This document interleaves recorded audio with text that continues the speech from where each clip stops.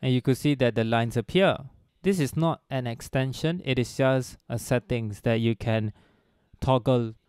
Hi, thank you for clicking on this video and today what I'm going to share with you is some recommended settings and I think there's a lot of people on the comments section who's asking how you get this extension where you can see the lines that is tagged to a widget and you could see the different widgets being tagged with these lines.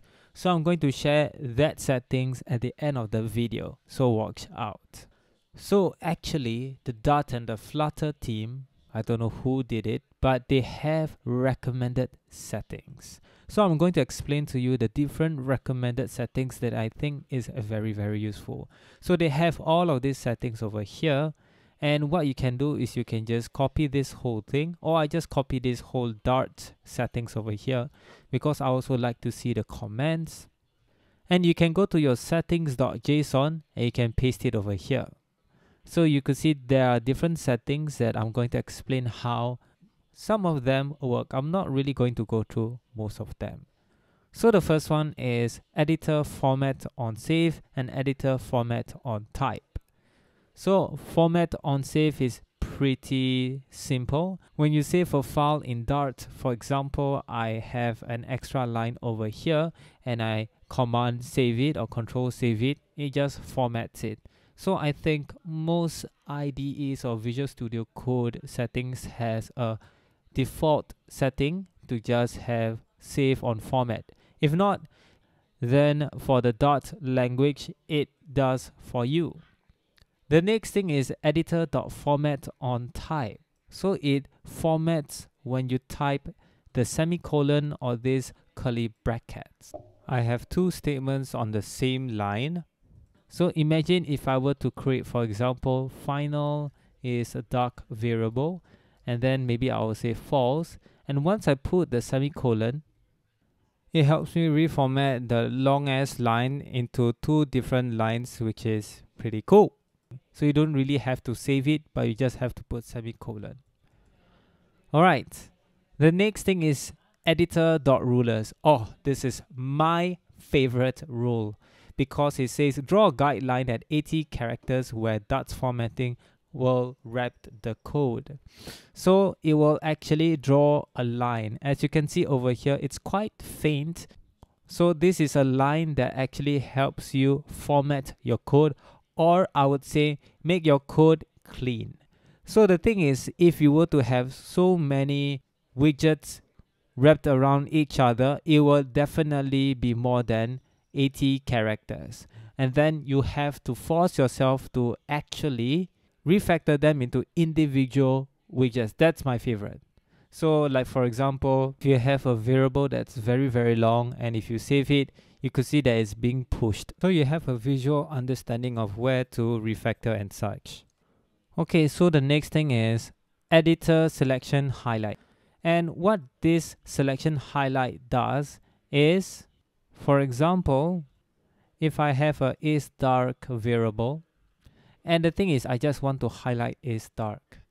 However, if you have a class that is also for some reason called is dark, which is not a great name for a class. And let's disable this setting.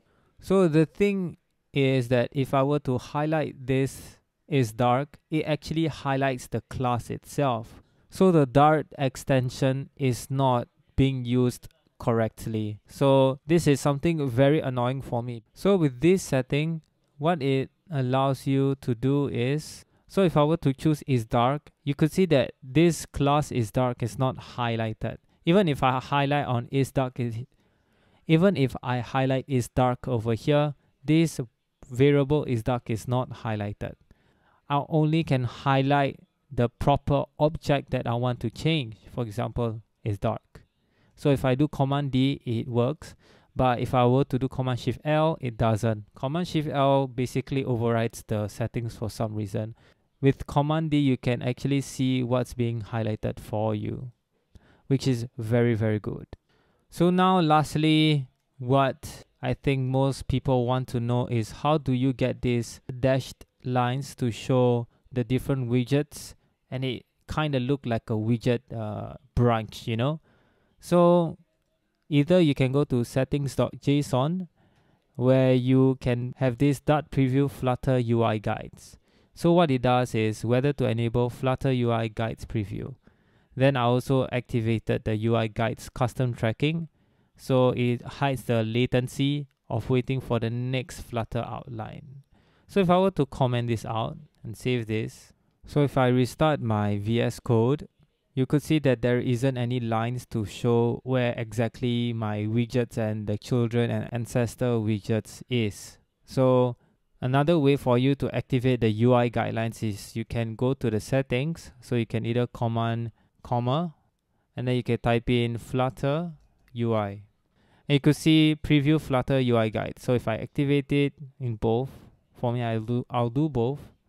Then if I were to go to main.dart, doesn't it doesn't really happen instantly.